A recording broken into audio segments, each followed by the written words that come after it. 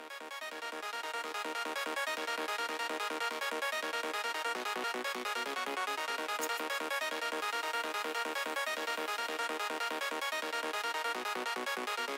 right back.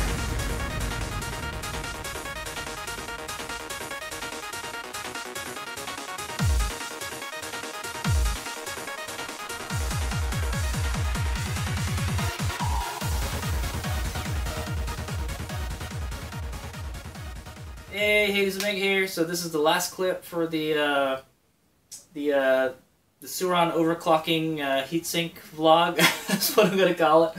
Um, so let's start from the beginning. So so the BAC 2000, I never really rode it in like really warm weather before until like now because I got it around like Christmas time and uh, that's about how much time I've been spending with this controller, you know. And I noticed it runs a lot warmer than the Sur-Ron one. Um, and uh, and yeah, so so like I overheated it a bunch of times going up hill climbs and stuff, and then and then after I got the NXT display, I started overheating it a whole lot because we were pushing more power through it, and and yeah, so I, I knew we need to have heatsink to so we so we could have uh, maintain that performance because um, what's happening is I'm getting thermal cutback, and thermal cutback is when uh, when it gets too hot, it limits the power so it doesn't overheat. And, and then you just lose a whole lot of power. And, and you'll notice that you'll notice that when, when you watch that uphill climb on Sierra Road. Um, I'm just wide open throttle and I'm not getting any more power, you know, going up the hill. Um, that's because the controller is overheating. Um, that's the problem. So um, I'm pretty sure it's the controller and not the motor and not not the battery. So because that controller is always smoking hot, smoking hot, and it just like and, and the more you ride it, the worse it gets, you know. And then you gotta let it take a break, or else you're gonna not have any power, you know. And uh, to get up some of those hill climbs, you gotta have power, dude. Um, so, in my honest opinion, the BAC 2000 is not really it's not really a good controller for the uh, Sur-Ron Light Bee. I think it's just uh, it's just too small for it. Uh, I think if I was to do it again, I would get the BAC 4000. Um, the BAC 2000 like if you were gonna ride the Sur-Ron really um, really tame, you know, not very fast, and just you know ride it kind of casually, then it's okay. But if you're gonna really push it, you know, and race it, and um, you know, really get on it, it's it it'll overheat a lot. The BAC 2000. I don't have any experience with the BAC 4000 or 8000, so I can't really comment on that. But but they're bigger. They're designed to handle more power. So I'd imagine they're probably not going to overheat as much as a BAC 2000. The BAC 2000 overheats a lot, man. It uh, it runs so much hotter than the Sur-Ron controller. Okay, the the Sur-Ron controller, it's got you know it's not as powerful. It wasn't designed to be have have a lot of power, but they really overbuilt that thing, man. It it I've punished that controller and it's never let me down. This one has let me down on a couple occasions already because of the heat, on account of the heat. But like, hey, when it's hot out, you get you know, you can't control the weather, you know, type of thing. So, so that's why I decided let's build a heatsink for the BAC 2000. Um, and uh, so the first thing we did was uh, I tried to look for uh, the first the first design was to just put a flat plate on the uh, flat aluminum plate on the uh, the the heat sink that's already on the BAC 2000, the main heat sink, I'm, I'm going to be calling the, the BAC 2000 heat sink the main heat sink, okay? And then, uh, and so I was thinking of putting in a flat aluminum plate and then bolting it onto the top of the heat sink and then putting one a tiny little heat sink on the other side.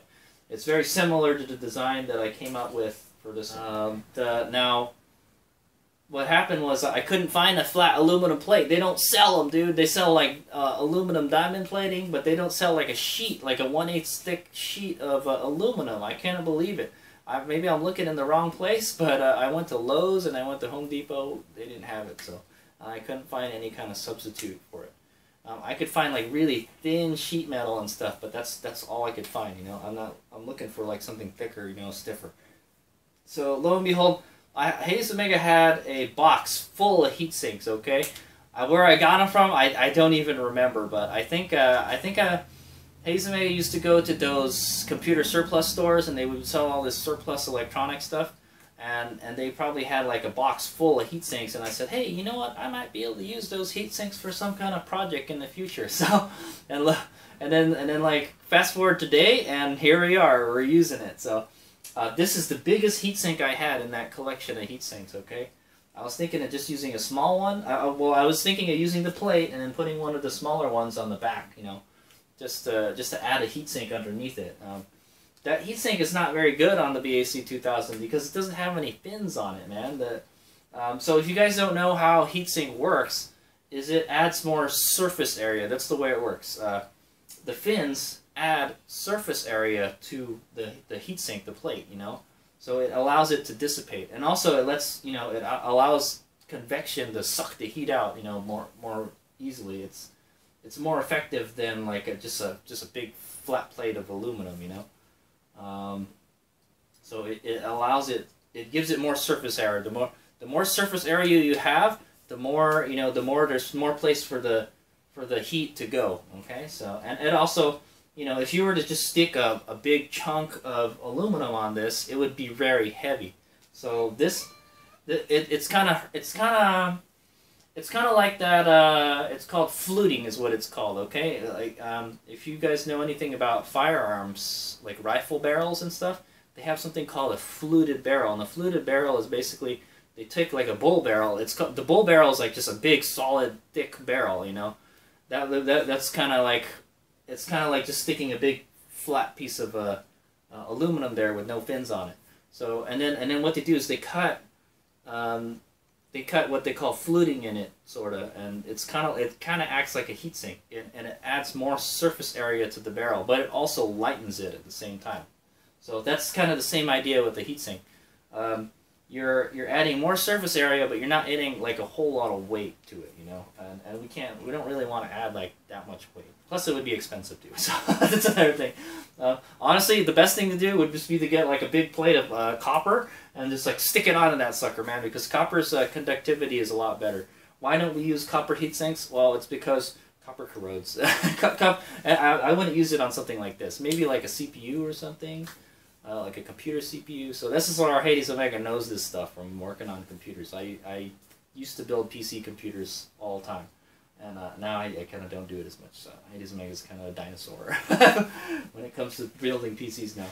Um, but yeah, so the idea was to get a flat plate and then just add a, a some uh, heatsink fins on the back of it. Uh, bolt some bolt some heatsink fins. But I couldn't find the plate, so I wound up using this. Uh, so the first thing we did was we put the um, the Light Bee on my trailer and I compressed the fork. So the the problem is the controller is in the front of the frame, right behind the wheel and stuff. So um, you have something that moves here. That's called a fork. the for the um, the the wheel, the fork, and the and the fender move. Okay, well the fork moves, and then the fender and the and the wheel moves with it. So, so what I had to do was uh, so normally the stock Sur-Ron comes with a 19 inch wheel, and that's what I used to ride in a dirt. So so for the very least clearance, um, we have to make sure that the wheel doesn't interfere with the uh, the shock. So because when you hit a bump and like let's say if you bottomed out the fork, you don't want you don't want the wheel to hit the controller or hit the heatsink. It, it'll damage it, you know. So, so we want to make sure that doesn't happen. So, to, to, to make sure that didn't happen, we put it on my trailer and I strapped it down to the chock and I compressed the suspension as far, almost as far as we can go. Um, and then, uh, and then we found out, hey, there's plenty of space. There's plenty of space under here. The, the, the wheel doesn't touch. So even at full compression, it's not going to touch. So it'll be safe. The another reason we don't want it too long is because there might be like a rock or something underneath that we ride over, and the heatsink might hit it and it'll, it'll bust it off. You know, you don't you don't want that. So so we can't have it too long either. Uh, but lo and behold, when we put the 19-inch wheel on there with the knob, even with the knobbies, so the knobbies make it a little bit taller. Um, it it still didn't uh, contact the heatsink. There, I could still stick my finger in it when we made the heatsink, so that's good. But I found out, yeah, there's a lot of room there. Um, the only the only clearance issue is the fender. The fender touches the uh, the controller at full thing. So, um, so the first thing we had to do was to weld some mounting tabs onto this big heatsink.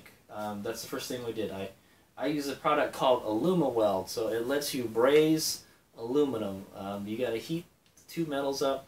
I, I apparently heated it too much and it melted the heatsink. You can see on, on, if you look on the other side of the heatsink, it's it's one of the fins kind of melted because I got it so hot. It was supposed to be like 600, 700 degrees or something, you know, and I was waiting, waiting, waiting, you know. I don't think you have to get the aluminum that hot. I think you can maybe get it around like 500 and then just start heating up the rod because then it'll start sticking. Uh, but uh, but yeah, um, I, I let it get too hot and it, it it also warped the heatsink too. I think it warped the heatsink. I didn't check to see if it was flat before we we heated it up. so so I think I might have warped it a little bit, but that's why we have the heatsink compound on there. okay, okay. So that was the first step. We have to braze the tabs on there. So we got some uh, some aluminum uh, flat flat flat bar. That's what they call it and we cut it and then we brazed it onto the side of the tabs. The reason we have to do that is because the BAC 2000 has these kind of wings on the side here that protrude from the controller. Why they're there, I don't know, but hey, it's a good thing to bolt something onto, right? So, so, uh, so, but the problem is the heatsink is just just a teeny tiny bit shorter than the than the wings, so we got like no contact with the wings at all. So there's nowhere to bolt it onto. My idea was to drill a hole in these wings here, and then and then bolt the heatsink onto them, like like this design right here. Okay, um, and it looks like we used way too much because it sticks out a whole lot. If these become an issue later, I might grind them down. Um, we don't really need them, but I said, hey, you know, it's it works as an extra heatsink, you know. Um, so so I Aluma welded the top part, and I was like, man, I don't want to heat this thing up again. It might warp even more. So uh, so what I did is I JB welded the bottom parts, but but those are, those those uh those bounding brackets are on there. They're on there really good. Uh, what could Hades Omega have done to make it make it better that that process? Use a TIG welder. Um, I think a TIG welder will you don't have to get it quite as hot. You use an arc to to melt the uh, the rod and stuff. You would use I, I think you would use a aluminum. You, you might be able to use a aluminum weld rod for, for arc welding. I'm not sure. Hades Omega is not an expert at ar, um, arc welding or TIG welding, so um, I should hate maybe I should take some classes. but that equipment is expensive, and I don't think I would use it very often. So, but uh, welding aluminum always mystifies me. so, it's whoa, that's cool. Okay. Uh, okay, so so we got the tabs on there, and we can we can actually bolt it on. So that was the first step. Um, and then and then and then when Hades made so so uh, so yeah, we I had to take the controller off to uh, to weld the to, to drill the holes in the controller because I, I didn't want to, it's kind of hard if you do it on the bike. So that's what I did. I took the controller off again. I un, unbolted everything, and then uh, I hate taking the controller out because if I if I take it out and put it back, it may I may mess something up. You know, I didn't mess anything up by the way. and then then I found out the the bracket, the bracket that uh, you get from ERT that bolts the the controller onto the bike is was cracking already. Um, I was like, it was cracking in like three different places, and I was like, well, you know, I could fix it with glue, because uh, uh, what glue, what what plastic cement does is it, it pretty much melts the the plastic together, you know, and that's what you want. You're welding it together. But um, I was like, nah, you know what? Why don't we just make our own bracket? So that's what I did. I made my own bracket. I used this aluminum angle, um, angle, angle bar stuff, and then a bar stock, and then uh, I made my own bracket um, using the uh, the ERT bracket as a template. So it's much thinner now. It's a little bit heavier, but also another good thing benefit was that is that it sucked the controller into the frame a little bit more. The ERT control, the ERT bracket, it kind of pushes the uh, the controller out a bit, you know. And the only thing is there's less room for the wires and stuff back there, but it but it was fine when I when I bolted it on. So. Also, there's this part sticking out here, but it, I think it looks cool. I, I, I left it, you know. I, I didn't make it flush with the controller. So, so one thing, it's going to be stronger. It's closer to the to the to the frame, and it kind of does act like a heat sink because it's aluminum. You know, it's aluminum and it's actually bolted onto the heatsink. The heatsink, uh, there's uh, some screws and it and it bolts onto the heatsink. So, um, yeah, so I'm pretty proud of that too. so so so while I was at it, I made that bracket. So and, it, it, would actually give me give us more clearance for defender, uh, but unfortunately not enough. So um, but the next thing we had to do was chop the heatsink. Okay, so once we got this the big heatsink uh, bolted on um, with the mounting tabs and everything, we had to make sure it's not too long. So basically, it was past the scoop here, so we didn't want it to touch the scoop at all. So, um, Hazen, I, I would actually, if I was to do this again, I would actually make it longer, but we didn't have enough material. Uh, we kind of ran out of material, so. So basically, what I did was I um, I took the whatever distance there was from the controller to like wherever it was hanging off, and I cut it in half, and then and then I I we cut the heatsink off, and then I mounted it to the back of the the primary heatsink. So now you have two heatsinks. You have um, it, so the re- the reason for that is I wanted to make use of all this space underneath the BAC 2000 controller. The BAC 2000 is a pretty small controller is less than half the size of the stock Sur-Ron controller. Okay, um, so so that so that's my reasoning for like having that under there. Now, unfortunately, um, there ha- there was a lot of fitting issues with that. Um, I had to cut off half of one of the fins on the very outside because it, it's almost touching the, the, the it's touching the nut that that the BSC the BAC 2000 is bolted onto. So I cut that off, and also there's a screw that's protruding from the bottom of the bracket on the for the ERT bracket. It's protruding into the the heatsink. So I I ground a little. I cut a little like a little dome into the fin so it doesn't touch. So it is everything is like on there really good, man. Really tight clearances. It's it's a work of art. Hayes says he says he crafted this heatsink. I crafted it. I didn't just just build it. I crafted it. okay. And it, you can definitely tell I crafted it because it looks kind of ghetto. it's, it's a very DIY looking. Okay, so we bolted that secondary heatsink onto the primary heatsink with six bolts, six, six well six screws, um, the same kind of the same screws that we used to bolt these onto the, um, the controller. I used four for the main heatsink and then six for the secondary and then what we had to do was uh, we had to cut some reliefs into the fins, okay? So these are here. So you can see that some of these are like half the size of the other fins. Well, the reason they're like that is so because the fender hits the um, the heatsink at full compression. So so to uh, to get around that is I, I cut this at an angle so when it when it does hit the fin it slides it slides and goes up. It, it's kind of weird. The fender kind of like it goes back and it just goes straight up all of a sudden. I, I don't know why, you know, it, I would imagine it should just travel the same path, right? But it kind of it kind of goes up and then it just goes back a little bit or something. Or no, it goes back uh, and then it goes up right away. So, um, but yeah, so I cut these out and then we we put it back on the trailer to make sure everything fit. After that, after we we kind of looked at it and then I started grinding and stuff and then and it was just pro- this process of putting it back on the trailer and seeing if this touches that and then I got it to the point where like it just it just barely grazed it. There's like a there's like a one millimeter gap before that happens, you know. Uh, one thing I guess I could do is just uh, raise the fender a little bit, I guess, but or just take the fender off. Period. But I, I kind of like having the fender on there. It looks cooler. so I didn't say so. So yeah, if I didn't have the fender, I wouldn't have to have have cut the um, the heatsink up here. Okay. Uh, but yeah, but it does look cool like that. Uh, I wound up leaving the, the two outer fins fully intact, so that's good. Um, and uh, and then that was it. Um, after all that cutting, we, I, I had to do a lot of cleaning and deburring and stuff because this working with aluminum it creates a lot of burrs and stuff when you're cutting it. I I, I use the uh, a cutting wheel tool like a lot, a lot, a lot, lot, and some uh, cartridge grinding rolls, a lot of stuff like that. Um, I got my money's worth out of my die grinders for this project. That's what I say, okay? Um, so and then in the end, so in the end, that's uh, that's what we got right there. Um, uh, so I attached the secondary heatsink, and we used this stuff, this uh, super lube silicone heatsink compound to help transfer the heat better. Um, just like metal to metal contact, you know, it's not very good. This this helps. Uh, I think it's called conduction. Um, you want it to conduct the heat. You want to transfer the heat away from something. And to do that, you can use something like a liquid or grease, okay? And this is this uses zinc, zinc oxide.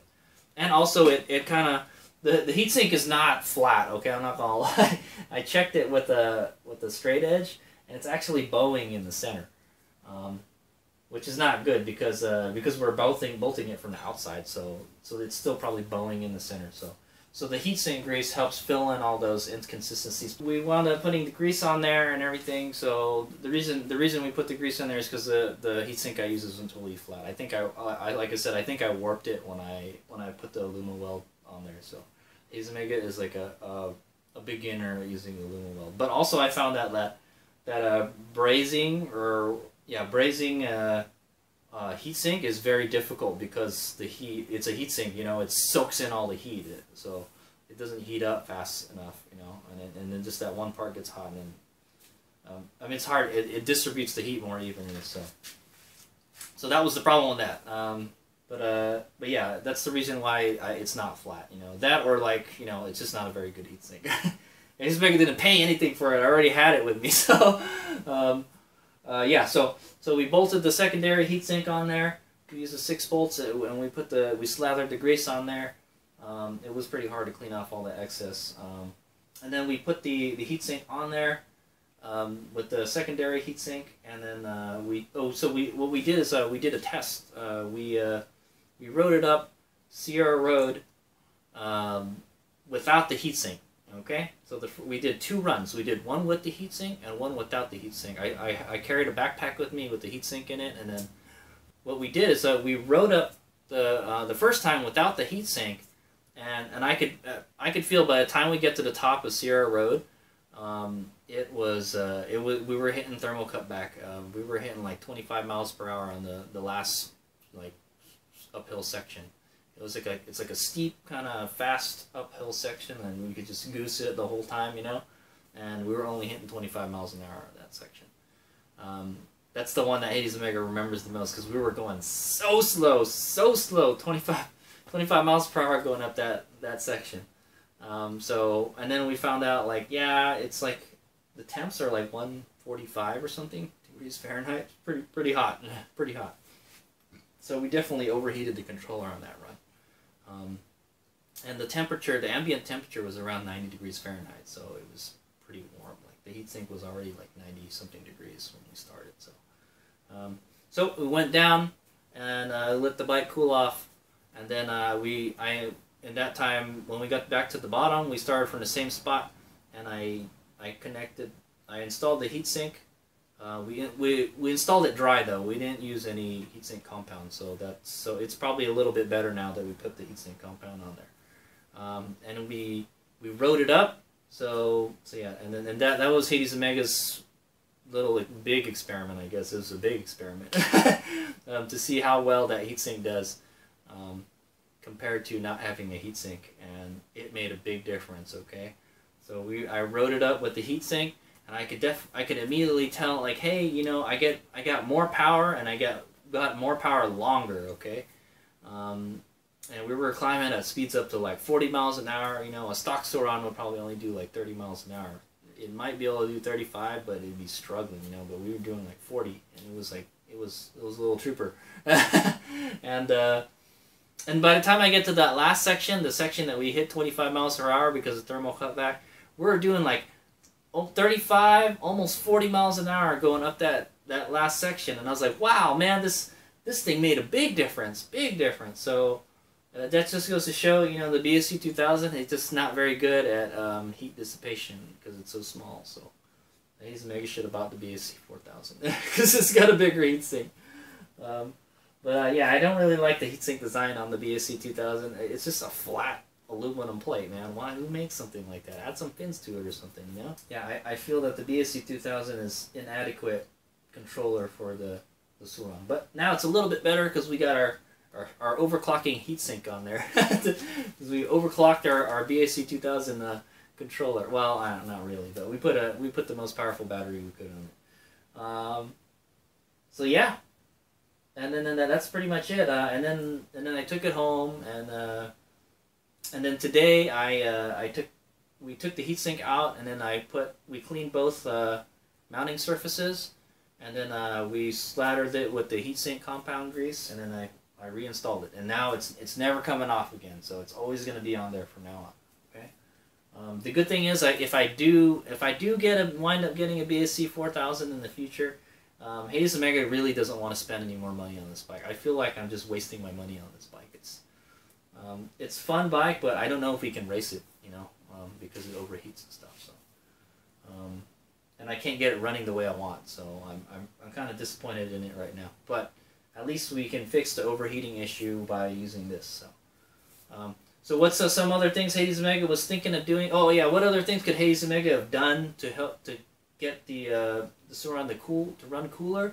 We could have used water cooling. Okay, like I so uh, I, I talked about this at the beginning of the project, but uh, water cooling would help, but you would have to have a water block, the part that actually attaches to the heatsink on the on the on the BAC 2000 controller you would need a water block, you would need water lines, you would need a water pump, you would need a radiator, you would need a reservoir, you would have to power the water pump, you know, and then you'd be car carrying liquid around. It would be it would make your bike more noisy and you know all that stuff. So um, I, I I thought mm, liquid cooling doesn't seem like the way to go. And I was thinking of using like some liquid cooling components from like a CPU, uh, like or not um, for for like a desktop computer system, you know. Um, I used to have a water cooled PC, and uh, and it's it is more maintenance. Okay, so you have to make sure you top up the reservoir every once in a while, um, and it's like where the hell are you gonna put all that stuff here? You know, like yeah, you could probably put a radiator underneath. Maybe you could stick a reservoir back there somewhere and a water pump. It, it would be really tight, you know, and then it would just there would just be more junk hanging off of your your controller. This is simple. You just block, bolt it on there, and then that's it. Well, we did put a heatsink compound on there and then we bolted. uh, even if you used a, a, water block, you would still use the heatsink compound on it. So um, I think water cooling probably would have been better, you know, but it, it, it just would have been more complex, you know, and um, this, this keeps it more simple. And it looks cool. um, another thing uh, Hades Omega could have done is there's a um, there's a company that that fabricates a heatsink for the BAC controllers. I think it's BAC 4000 or 8000 or something. But I'm pretty sure you could probably get it to fit on a BAC 2000.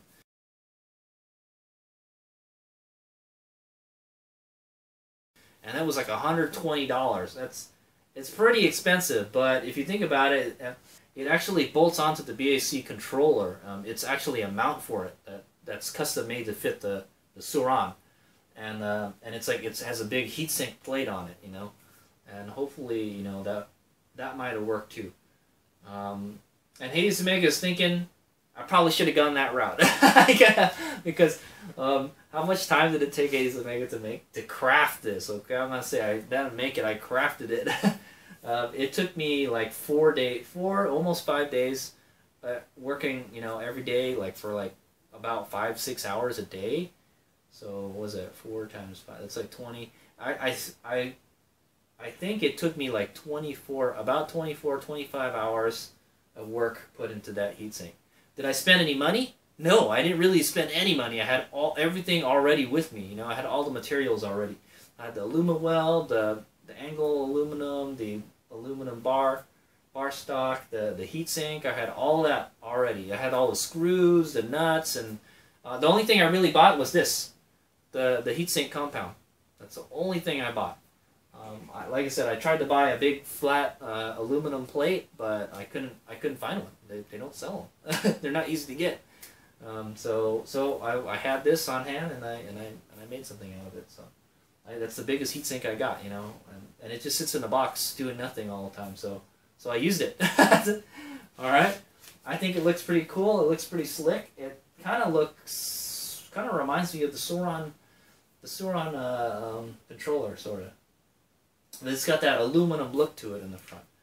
Uh, would have been nice to use like a um, black anodized, but uh, maybe I can get this anodized in the future and get it anodized black or something. You know, um, what could I do to improve this? Well, probably have have it resurface. Take out that um, it's kind of warped in the center, so it's warped on the edges too. Um, it when when I heated it up, it warped it on the edges. So um, to have it resurface. But I don't think you could resurface it enough to so it's so flat. There, You'll run out of material. That's the problem. So, um, yeah, I, I would, uh, if I was to do it again, if I wanted to do it better, um, I would take it to somebody that knew how to, to TIG weld aluminum, and then I would have them weld those tabs or I would buy a bigger aluminum plate and then just cut cut it to the size, the perfect size already, so I didn't have to add these tabs. Um, I would have a, a, a heatsink that's slightly wider. Um, it just so happens this one just fits perfectly, except it's not wide enough to touch the uh, the wing. So that's that's that was a bummer right there, you know. And I wound up putting too much material anyway, so there's really not much.